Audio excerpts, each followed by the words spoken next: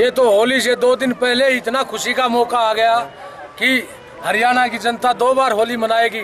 आज होली का जश्न जो है डबल हो गया।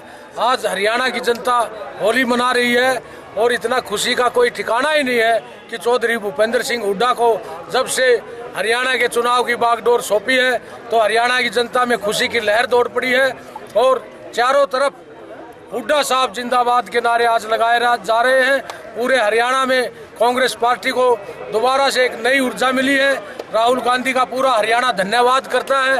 जो चौधरी भूपेंद्र सिंह हुड्डा जी को हरियाणा में तालमेल कमेटी का चेयरमैन बनाया है और जो हरियाणा के चुनाव की बागडोर सौंपी है, हरियाणा में खुशी की लहर दौड़ गई है और आने वाली दस की दस लोकसभा सीटें भूपेंद्र हुड्डा जी, राहुल गांधी की झोली में डालेंगे।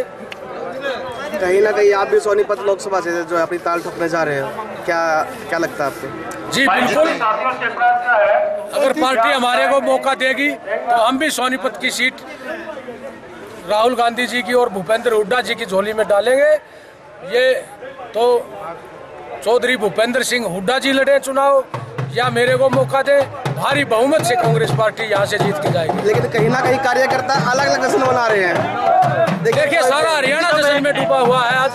कार्यकर्ता इतना मतलब जब से ये खबर फैली है तो जो जहाँ वही जश्न मना रहा पूरा हरियाणा जश्न में डूबा हुआ चौधरी भूपेंद्र सिंह हुड्डा जी के बनने से।